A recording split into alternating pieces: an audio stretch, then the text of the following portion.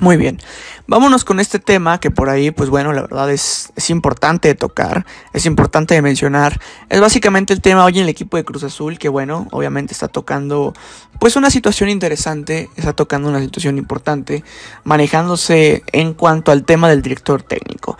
Por ahí hay que recordar lo que pasó el partido pasado, el tema de la expulsión de Aguirre, eh, obviamente tiene que dejar un punto importante ahí para tratar de generar fútbol y claramente el equipo tiene que empezar a estructurarse algo distinto.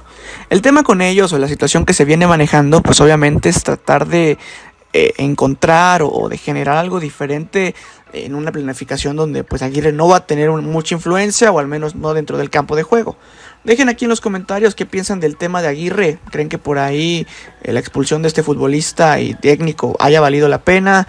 Eh, creen que por ahí, pues bueno, él deba continuar en el equipo. Digo, hoy me parece que este tema es un tema mucho a, mencionar, que tiene mucho, mucha polémica de por medio, pero pues bueno, a muchos no les ha gustado la, idea que ha tenido el tema de Aguirre y pues es válido, ¿no? Me parece que al final de, la, de la noticia es bastante válido y vamos a estar platicando de ello.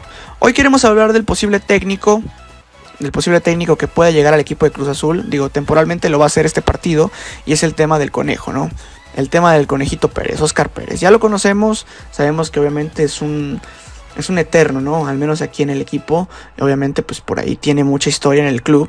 Y, pensar en, él como técnico, pues igual me parece una opción eh, importante, ¿no? Entonces suena mucho el tema de, del conejito, de que por ahí puede llegar a ser una opción.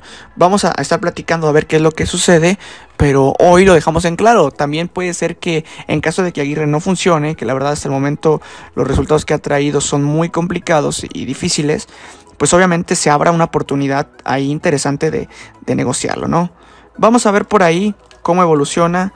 Vamos a ver por ahí qué es lo que pasa, qué, cuál es el movimiento que hay de por medio y bueno, vamos a, a estructurarlo. Pero Hoy lo dejamos muy claro, hoy lo dejamos bastante concreto, pues el equipo tiene que empezar a pensar en cosas diferentes, cosas mucho más creativas, cosas que realmente puedan aportar y la verdad es que creo que por ahí el tema del conejito puede ser un tema, ojito, que, interesante, ¿no?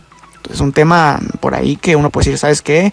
Está, está joyita, está joyita esta situación. Entonces vamos a ver cómo por ahí evoluciona.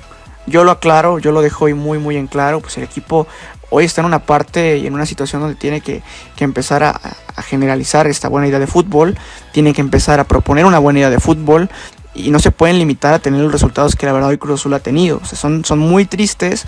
Vemos al técnico perdido, digo, Reynoso en algún punto, en sus peores momentos tampoco no estuvo de esa manera. Entonces, sí que por ahí hay mucho, mucha situación y pues bueno, hoy al menos en el equipo ha dejado mucho de qué hablar esta parte. Entonces, esta es la situación hoy en el equipo. Dejen aquí en los comentarios qué piensan de todo ello, qué piensan de esa situación.